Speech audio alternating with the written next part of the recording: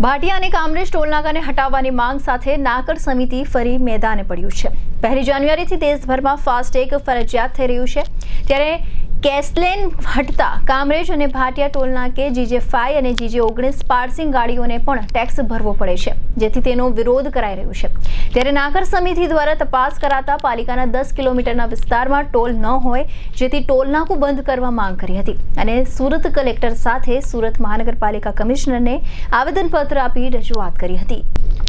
સુરત જિલ્લાના કામરેજ અને ભાટિયા ટોલ નાકું જે ગેરકાયદે હોવાનો નાકર સમિતિએ દાવો કર્યો છે.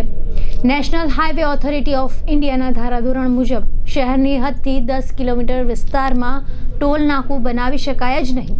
જે ટોલના કોન્ટ્રાક્ટરે સિટીના હદમાં શહેરીજનોના ઉપયોગ માટે ઓવરબ્રિજ, અંડરપાસ ટર્નલ બનાવી હોય તો તેવા કિસ્સામાં જરૂરી પરવાનગી લઈ ટોલ નાકું બનાવી શકાય. પરંતુ સુરતના ભાટિયા અને કામરેજ ટોલ નાકે આ બંને શરતોનું ઉલ્લંઘન થઈ રહ્યું હોવાની નાકડ સમિતિએ ટોલ માફી કે કન્સેન્સન નહીં, પરંતુ આખે આખું ટોલ નાકું ઉખાડી નાખવા અવાજ ઉઠાવ્યો છે.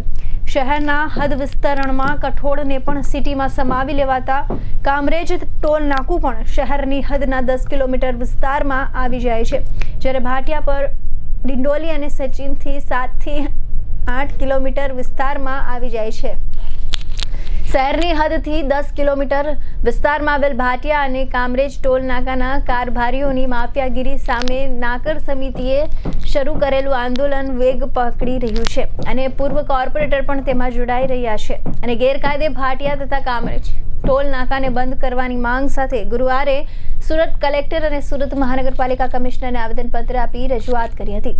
શહેરની હદથી સાતથી આઠ કિલોમીટરમાં જ કામરેજ અને ભાટિયા ટોલ નાકા આવ્યા હોય જેથી નેશનલ હાઈવે ઓથોરિટી ઓફ ઇન્ડિયાના ધારાધોરણોનું ઉલ્લંઘન થઈ રહ્યું હોય તેવા તાત્કાલિક અસરથી બંને ટોલ નાકા દૂર કરી દેવાના નાકર સમિતિએ અવાજ ઉઠાવ્યો છે.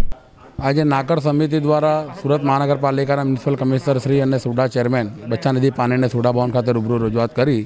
રજૂઆતનો મુખ્ય મુદ્દો એટલું છે કે સુરતની પ્રજા જે ટોલ નાકાઓથી ઉઘાડી લૂંટ થવાની શરૂઆત થવાની છે એક જાન્યુઆરીથી, એની સામે અમારો વિરોધ છે કે શહેરની પ્રજા કોઈપણ ભોગે એની ઉઘાડી લૂંટ થવી નહીં જોઈએ.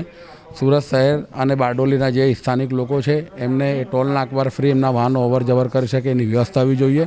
અને જો નેશનલ હાઈવે ઓથોરિટી એ ના પાડી શકે, તો એની બાજુમાં સુડા કે સુરત મહાનગરપાલિકા નવો રસ્તો બનાવીને પણ લોક ઉપયોગી બને અને લોકોને ફ્રીમાં અવર જવર કરવાનું મળે એવી વ્યવસ્થા કરે, એવી અમારી રજૂઆત હતી. હા, એમએસએ શેખ નાગર સમિતિના સહકન્વીનર. આજે સુરત મહાનગરપાલિકાના કમિશનર અને સુડાના ચેરમેનને નેશનલ હાઈવે ઓથોરિટી પર જે ટોલ નાકાઓ છે, તેના બાબતે નાકર સમિતિના સભ્યો મળ્યા અને તેમને સ્થાનિક લોકોને, સ્થાનિક ઉદ્યોગકારોને, સ્થાનિક સંગઠનોને અને રોડનો વપરાશ કરતા લોકોને પડનાર તકલીફો બાબતે એક આવેદનપત્ર આપ્યું અને માંગ કરી કે સુરત મહાનગરપાલિકાને સુડા આ રોડની સાઈડમાં બીજો કોઈક વૈકલ્પિક માર્ગ બનાવે જે નેશનલ હાઈવે ઓથોરિટી બનાવવામાં ફેલ ગઈ છે. અને સ્થાનિકો કોઈપણ ભોગે આ ટોલ નાકા ઉપર ફાસ્ટેગમાં ટોલ આપવા માંગતા નથી. તેથી કમિશનર સાહેબને માંગ કરી કે કે કાં તો તમે નેશનલ હાઈવે ઓથોરિટીના સંપર્કમાં રહીને ટોલ રોડની બાજુમાં સર્વિસ રોડ બનાવો અથવા નવો રોડનું પ્લાનિંગ કરો જે શહેરના નાગરિકો માટે સુવિધાજનક હોય. ચંદુભાઈ સોજિત્રા છે. કામરેજ ટોલ નાકા અને ભાટિયા ટોલ નાકા ઉપર જે ટોલની, સ્થાનિક ટોલ ટોલના જે પૈસા લેવામાં આવે છે, એના વિરુદ્ધમાં જે આ સમિતિની રચના કરવામાં આવી છે, એ સમિતિ દ્વારા આંદોલનના પ્રકરણ કરશે આવનાર સમયની અંદર જો ટોલ બૂથ ફ્રી, સ્થાનિકોને ફ્રી કરવામાં નહીં આવે, તો કોંગ્રેસ દ્વારા પણ અમે એને સહકાર આપીએ છીએ કે સ્થાનિક લોકોને સકાજામનો કાર્યક્રમ પણ આપવાનો છે.